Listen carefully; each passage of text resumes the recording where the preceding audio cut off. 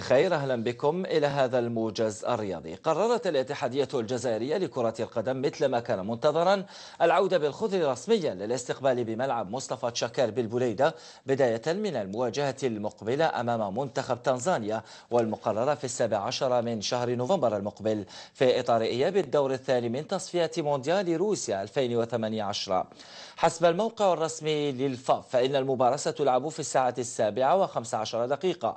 هذا وكان المنتخب الوطني قد خاض المواجهتين الوديتين الأخيرتين أمام غينيا والسنغال بملعب خمسة جويلية. لم تلقى قبول الجمهور الذي قابل الأداء بالتصفير ما عجل بالعودة بالخضر إلى اللعب في البليدة هذا وسيدير لقاء العودة ما بين المنتخب الوطني ونظيره التنزاني طاقم تحكيمي كاميروني بقيادة الحكم الرئيسي آليوم نيون بمساعدة مونكواندا ديافيريست ونوي نغوغو. في حين الحكم الرابع سيكون الكاميروني كذلك موانجو كالا هنري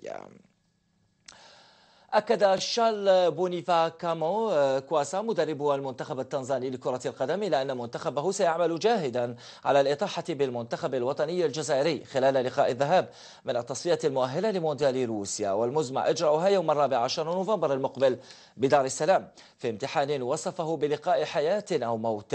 على الرغم من إقراره بأن المأمورية سوف لن تكون سهلة أمام المنتخب الجزائري الذي أقر بأنه أفضل منتخب إفريقي حاليا غير أنه أوضح بالمقابل إلى أن ترتيب الفيفا ليس مهما ولا يعكس المستوى الحقيقي للمنتخبات.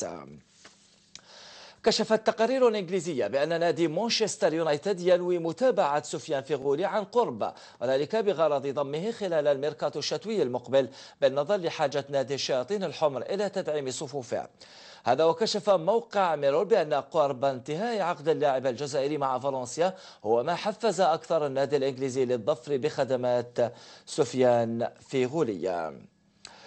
شارك اللاعب الفرنكو جزائري الشاب إسماعيل بن ناصر في أولى تدريباته رفقة الفريق الأول لأرسنال أمسية البارحة إلى جانب نجوم الفريق على غرار أوزيل وسانشيز وهو البالغ 17 عمر 17 سنة فقط من عمره. يذكر أن اللاعب السابق لآر أفينيون الفرنسي فضل الإمضاء لل Gunners بدل مانشستر سيتي بداية هذا الموسم. محليا أكد خير الدين ماضوي مدرب وفاق سطيف سعادته بطرد نحس النتائج السلبية بملعب الثامن ماي 45 بعد الفوز المحقق على حساب شباب بلوزداد.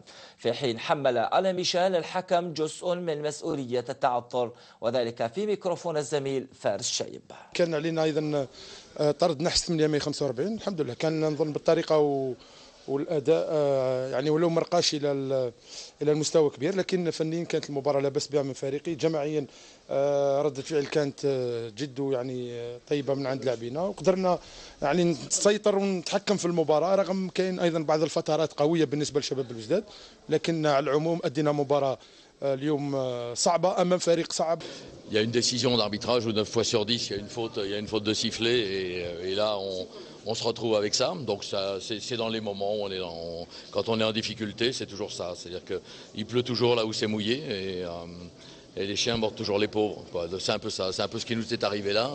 Et, la décision de l'arbitre est, très atypique. C'est ce qui contribue à donner le match assez tif. Pour le reste, on avait fait le match qu'on souhaitait faire, c'est-à-dire euh, du combat, de l'occupation du terrain, des qualités de contre-attaque où on peut ouvrir le score et puis. Euh, et puis euh, on est resté euh, même après le, le but concédé.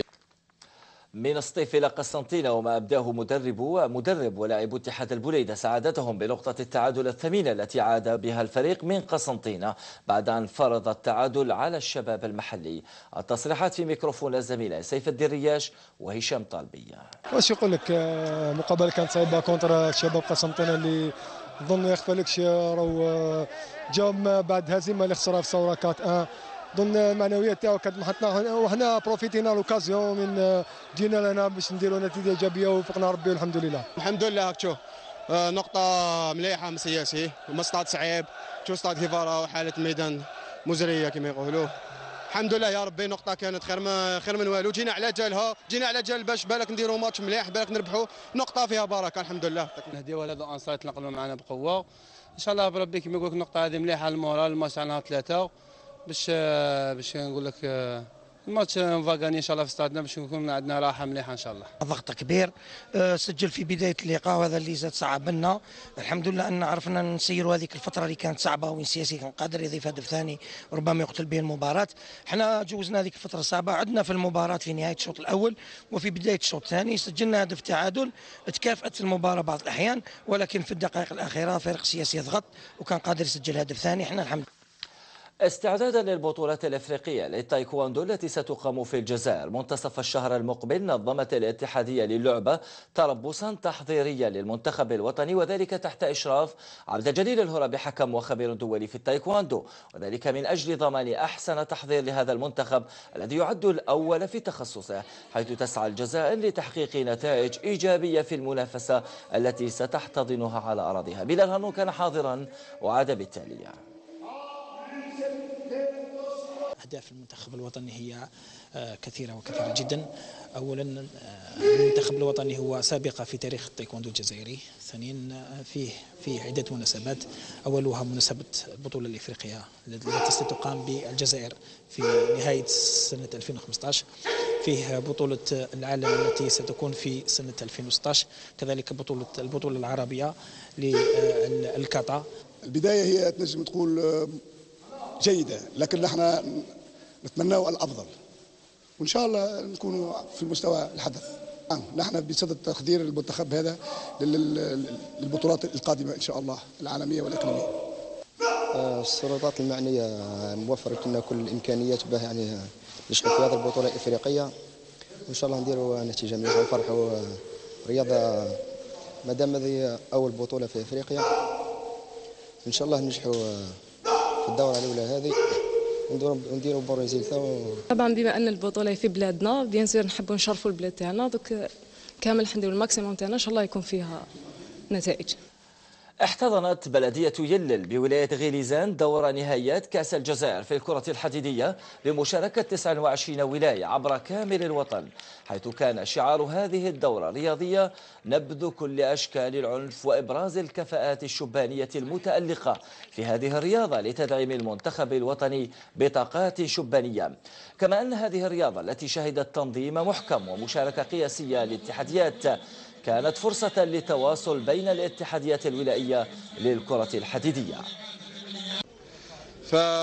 فالمشاركة كانت قياسية بالنسبة لنا خاصة بحضور 29 ولاية من القطر الجزائري. تعرف كذلك النخبة تاع مشاركين تاع لاعبين دوليين وأبطال جزائريين وفئات لها قدرات اللي تنجم تبرزها في المجال الدولي.